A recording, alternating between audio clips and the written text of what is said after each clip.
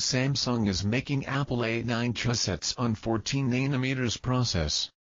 After a fierce court battle between Apple and Samsung, the iPhone manufacturer looked for other parts suppliers and TSMC got the Apple A8 manufacturing gig.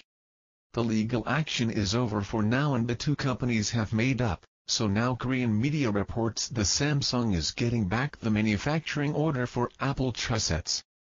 According to Etnews, Samsung started making the Apple A9 chipset using a 14nm FinFET design. Samsung has two plants capable of making this chip, but for an unannounced reason it will only be making the A9 inches Austin, Texas. Work on that plant was started in late 2012 with a $3.9 billion investment, specifically with the idea of making Apple chipsets. TSMC will not let go of the lucrative Apple deal easily and has a competing 16nm FinFET Plus process ready to go.